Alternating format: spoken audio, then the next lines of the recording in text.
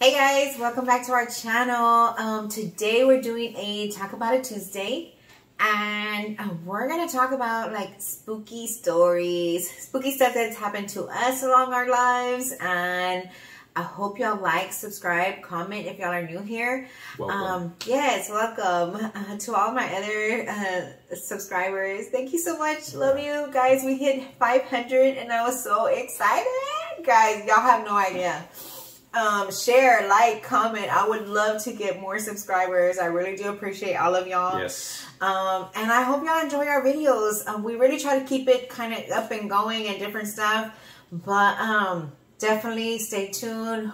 Again, we're going to be saying some spooky stories Ooh. that's happened to us. Yeah. All right, guys. We'll stay see you in a minute. We just figured, well, let's talk about something different. So figured we'd talk about ghosts. Spooky. First of all, do you believe in them? I do believe in them. Because, yeah, because I've seen them. I've seen a couple different ones, honestly. Um, I don't think Robert does. Believe in them? I don't. I know there's something out there. Um, I don't know if you would necessarily say a ghost, but I know there's something out there. I don't see them. Um, I don't think they really bother me or anything, but I know there's something out there and something after, you know, your life is over. Mm-hmm. I think sometimes some people don't pass over to whatever's beyond, whatever you consider is out there, heaven or whatever. Um, I'm gonna tell you about a couple of different uh, situations I've been in. Um, it was kind of now it's funny. Back in the day, you know, we talk about it, it was like scary, or when it happened, it was scary. But now, I mean, I can turn around and laugh about it or whatever. But um, there was one situation at my mom's house. I just had Xavier, and matter of fact, Xavier, mm. uh, my mom was going to take care of Xavier one day, so I had run in there and dropped off the baby. Came back to the car, got the diaper bag, went back in, telling my mom, "Hey, this is how you feed him. This whatever." I had everything in the diaper bag, blah blah blah. So I'm staring, looking at my mom, talking about this and the whole time she is like in a glaze staring at me. Just glazed over, eyes glazed over, like, uh, like in awe. And um, I couldn't tell why. Like, I was like, are you listening to me? Is it registering? Like, I'm about to leave my baby? Like, are you paying attention? And the whole time, I could feel my hair being lifted up in the back, like pulled up, like this. So my dad was always the jokester. For those of y'all who know my dad, he was kind of a jokester and always trying to play around and stuff like that. So the whole time I'm like, Dad, stop. Dad, stop. Like pulling my hair down. Like I didn't see my dad behind me. I didn't look behind me. I was busy telling my mom, I need I need you to do this and this for the baby, blah, blah, blah, whatever. The whole time, y'all, she's just staring at me. Just staring at me. Shell shocked. Yeah. And so I'm pushing my hair down, and finally I turn around. I'm like, stop playing. And I turn around and look, and my dad's in the living room, like two, three rooms down. Like I could see the living room because it was the hallway, then the um, living room. And he's like, what? I'm over here. And I'm like, something was pulling my hair. And then all of a sudden my mom like snapped back. And she's like, something was pulling your hair up. I'm like, I know. And I thought it was dad and this and that. Like we were like, what the heck is going on? But yeah, guys, I mean, that's just one situation that. Tell them about your parents' old house in the fireplace, guy. Mm. I didn't see it. I mean, I wasn't even alive at that time. Mm -hmm.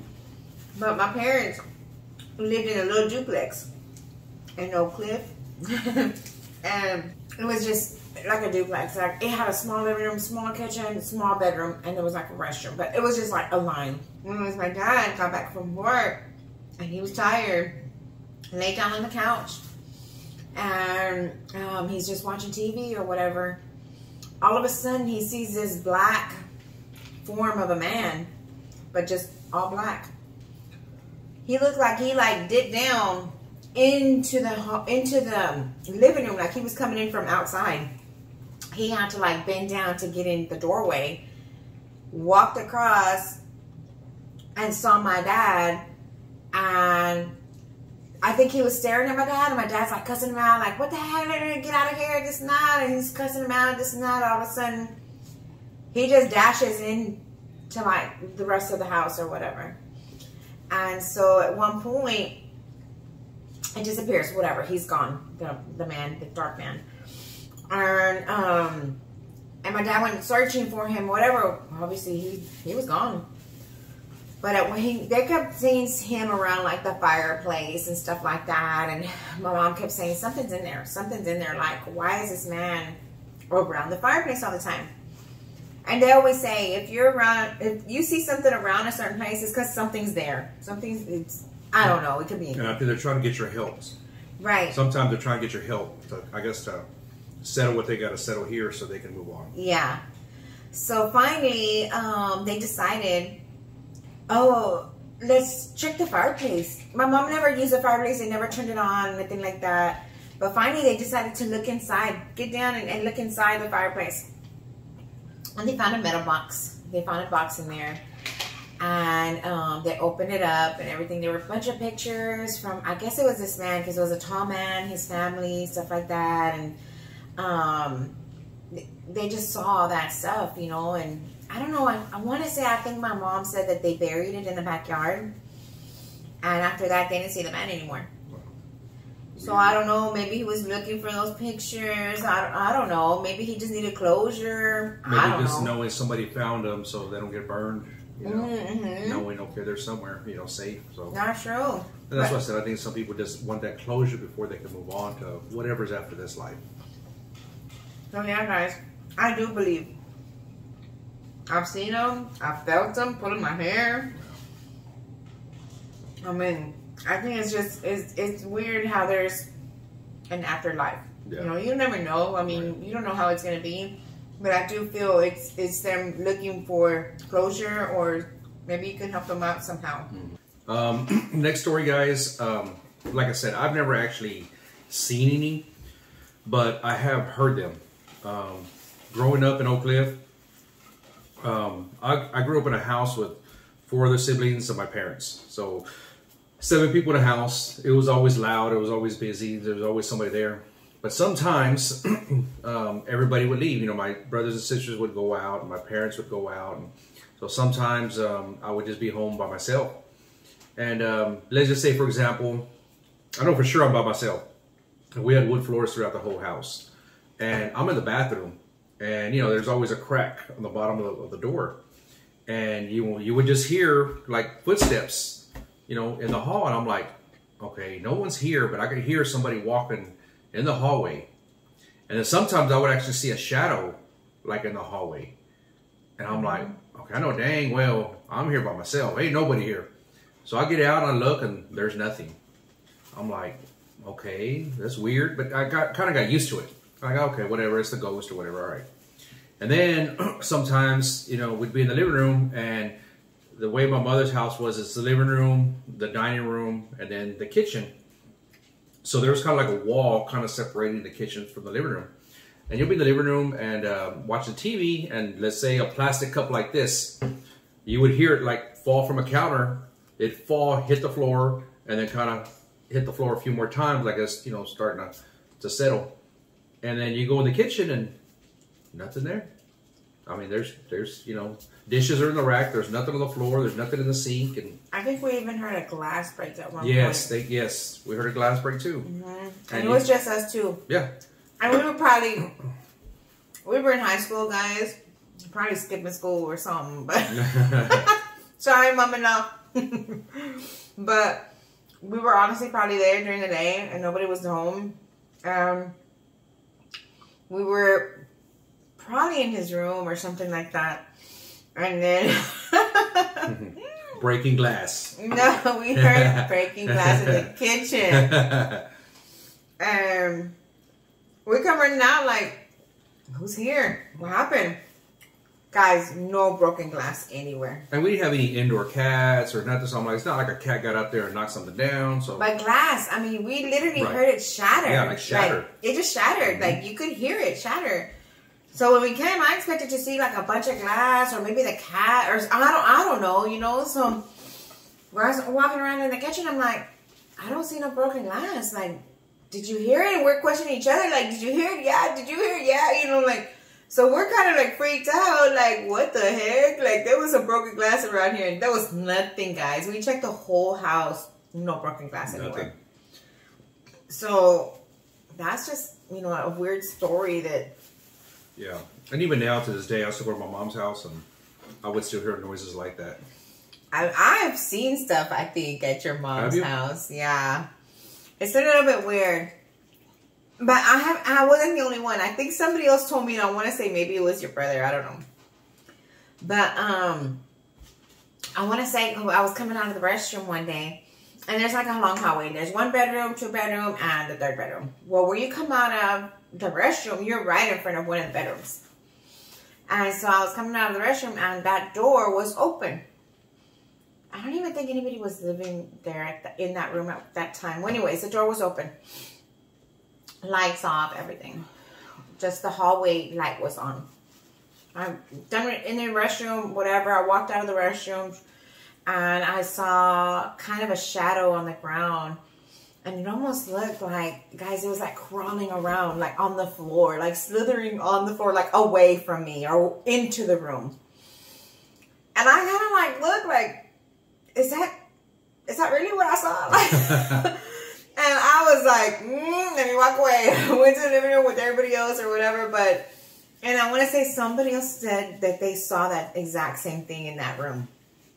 Um, it was, I mean, it just looked like a, like a man crawling on the ground or like slithering on the ground, you know.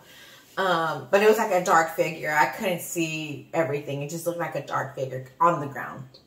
But again, I, I think I was backed up with my story because somebody else said it too that they saw something in there. So, um, What about our house? Want to Tell them about our house or? our house in Cedar Hill. Mhm.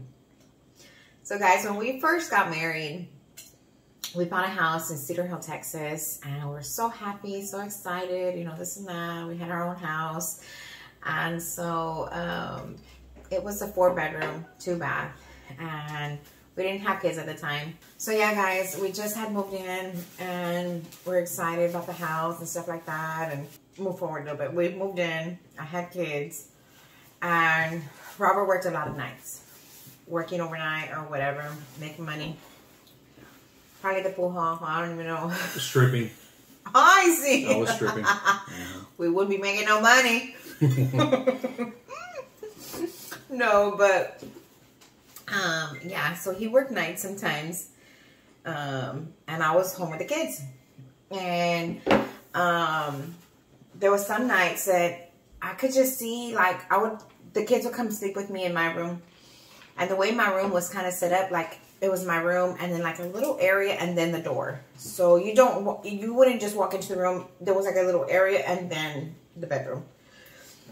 Well, anyways, um, the bed was there and I couldn't sleep. I was just like, you know, laying down, my eyes open and closing, this and that. I just I just felt uneasy.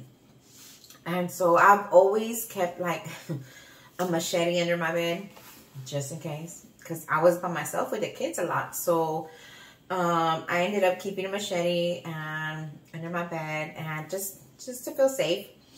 And um, one point, I opened my eyes. So say for instance, the door is right here. I'm over here asleep. I saw somebody put their head in and look at me and then go back. Like behind the wall. This is the wall. And then all of a sudden kind of look again and then go back. So I was thinking, is that me? Is it my mind? Like, I mean, is my mind playing trips, trips, tricks on me, or what's going on? I couldn't tell. Anyways, I was like, okay. Finally, I decided I'm getting up. I'm gonna go search because my babies were in the in the bed with me, and I started looking around, started walking around, nothing, nothing, nothing. I didn't see nothing. And I was like, what the heck? I know I saw somebody kind of poke their head in at, me and then go back behind the wall. And I was like, something's here. Like, I searched the house. I searched into the beds. I called Robert. Like, I don't feel good. I don't feel right. Somebody's here. Like, all kinds of stuff. And then um, he searched the house. Nothing. Nothing. And so I was like, what the heck? Like, I don't know. I just felt like I was going crazy. That was one night that happened. So, whatever or whoever that was ended up getting a nickname at that point because because they, her and you know other people would start seeing it, especially in the hallway, and uh, ended up giving it a name Hala. Mm-hmm. And I think some people gave it the name to kind of ease the tension of being so nervous about it. So they would, you know, come in and say, "Hey, Hala, how you doing, Hala? You know, Mm-hmm. bye, Hala. You know, just kind of Jessica, if you remember, you're watching this. That was that was Hala. yeah, But my my sister in law seen him too. Um, I saw him walking from the long hallway into one of the bedrooms, which was Yaya's bedroom. And matter of fact, yeah, I knew Yaya was in her crib at that time. And so when I was walking and I was in my room and I was walking to my restroom. You could glance down the hallway. So I would glance down the hallway just to see. All of a sudden, I see a man or a figure go into Yaya's room. And I was like, what the fuck? I grabbed my machete. I walked in there. And guys, this is early in the morning. I want to say probably like seven. I was probably up getting ready for work or I don't know. I was just up. And so I walk in there. Nothing. Nothing. And um, I always felt a little bit uneasy being there. I mean, it didn't scare me, guys. I just felt like somebody's there. yeah. Just somebody's there. It didn't scare me. I didn't. I didn't feel scared. Um, I didn't. At that point, I, I I feared because I felt like somebody was in there. But after I started figuring out, it's got to be some kind of spirit or something because we never did see him. We, you know, physically, like you didn't see him, and um, so he didn't scare me. Yeah. Um, there was one point that I I saw him. I saw his face. I saw his his body. He's kind of clear, see through ish, but I could tell was. I say I could tell he was a white guy. Maybe looked like a teenager, maybe eighteen, and it looked like he was wearing like literally like a white t-shirt and jeans. I mean that's how I saw him, but clear. I could see behind. I could see the wall behind him. And my So daughter was- seen him too. Yeah, my daughter did see him too. You can you can explain that. so one day she was I don't even know where she was, but I had both kids, and um, they, you know they had to be little two and four or five something like that. And I opened the door and I'm carrying you know the bags and everything, and my daughter walks in first, and our entryway was probably about 10, 12 feet long, and then you get into the living room, and then to the left was this hallway we're talking about, and then the hallway when you look down to the left was her bedroom directly into the hallway. That's the room that she's talking about. And uh, her door was, I, think it was closed at that point. So I open the door and I'm there with the bags and my son's helping me. And of course, my daughter runs in, runs through the entryway, stops, kind of looks around, looks left, turns around at me and says, Dad, there's a man in here. I'm like, what the hell? So get out. So, you know, I, they run out and I put them in the, in the, in the car and um, I lock the car and, um, like I said before, you know, I'm a concealed carrier, so you know, I bust out my my my nine and uh, go in and search the house and you know make sure no one's in there. And Meanwhile, while this is happening, he says, "Call your mom," and locks the kids in the car. Xavier's on the phone with me. Mom, Dad has a gun. There's a man in the house. I was like, "What the?" You know, like what? And so I'm freaking out. The kids are freaking out. They saw Dad running around with a gun. They saw, you know, so it was just weird, crazy situation. yeah, um, but I mean, I had I had an idea it might have been the spirit because uh, it seemed like the activity kind of went up a little bit because she was seeing it, my sister was seeing it, and and we were actually talking about it like the night before. So I kind of had an idea, but I'm like, well, just to be safe, I'm going to secure the house and make sure everything's okay. You know, um, there's no sense in calling the cops if there's really no, nothing there, no broken windows, no nothing. So then um, I searched it and everything's clear, everything's fine. So, so when I when she got home, I explained, you know, like, hey, there's nobody here. I think it was a ghost, and of course she tells me that the kids are freaking out, you know, in the car and you know calling her and all that.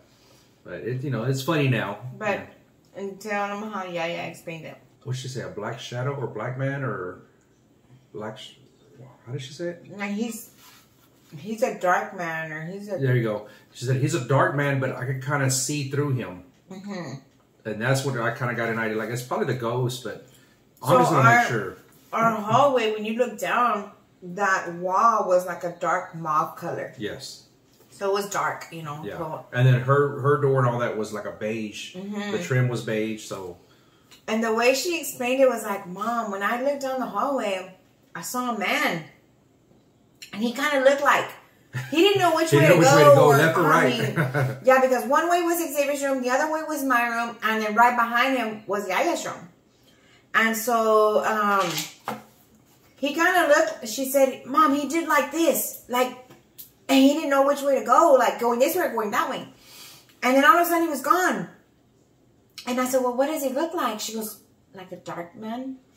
And the only thing I, I could I could put into my mind is that the wall behind her is like a dark mauve color. right.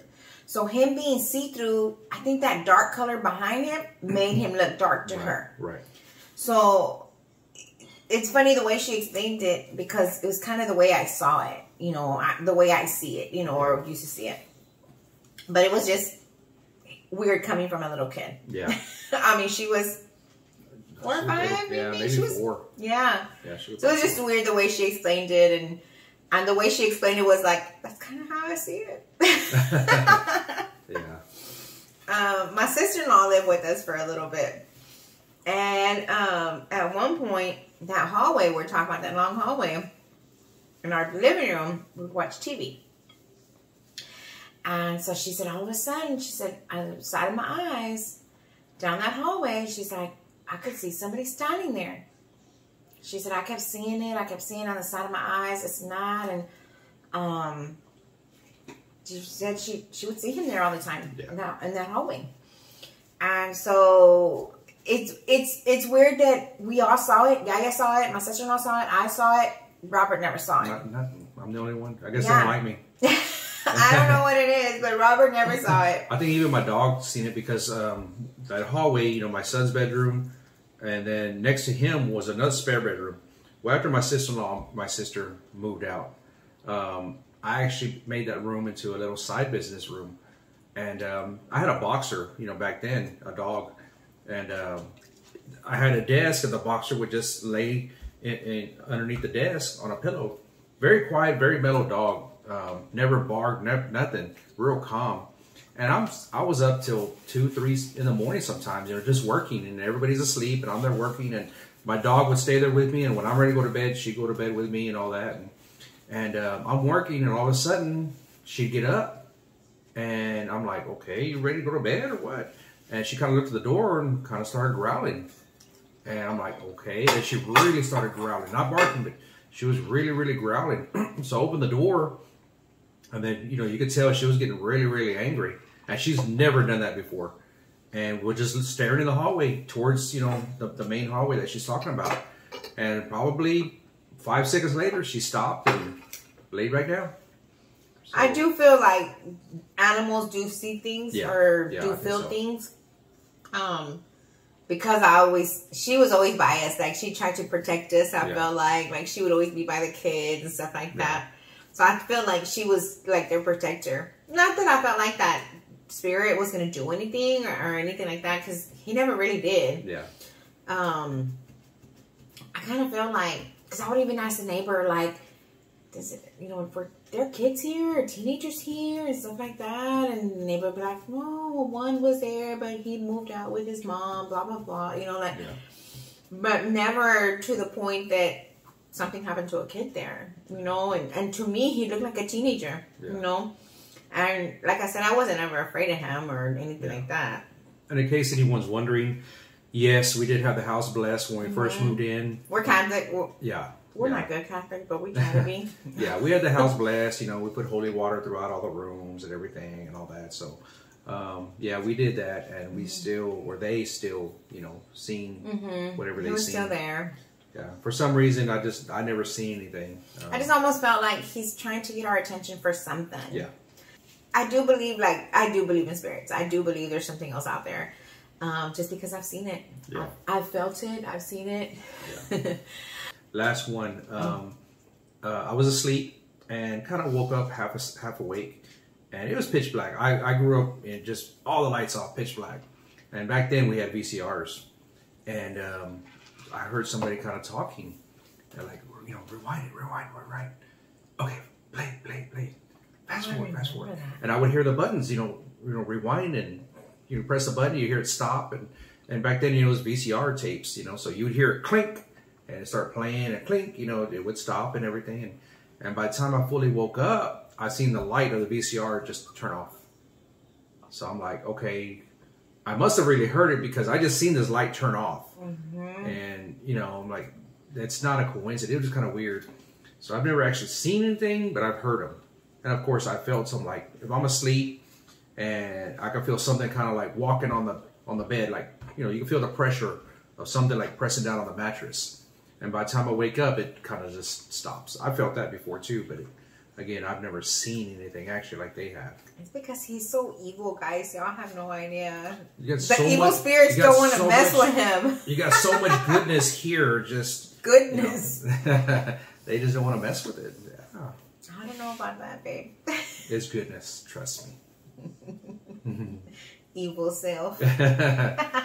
Because he's evil. I told y'all. He's evil. Y'all or just don't someone's know. just protecting me from bad things, Whatever. you know, from evil.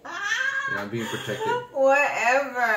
Yeah, but we got plenty more stories, guys, um, and that's not even including like our family and friends that have told us stories. Yeah. I mean, we can go on and on and on about stories, but that's just a few of them, you know. But just wanted to bring you along to our lives and just tell you some spooky stuff that's happened to us in the past. yeah, And maybe y'all can tell us some stories. oh yeah. Comment down below. Let Yeah. us know. And if you want us to do a part two, let us know. Yeah. like I said, we got plenty of stories. Yeah, we do. Plenty. Yeah, we do. Yeah. Definitely. Like I said, don't forget to like, subscribe, comment. Um, if you liked our spooky stories, make sure you like it. Um, if you have a spooky story, make sure you put it in the comment. I would Yeah. really like to hear it or see it or read it. Oh, yeah. Yeah. um, that would be fun. But guys, all right, we're gonna go ahead and go, and we hope to see y'all on the next one. And see you later. Bye, guys. Bye.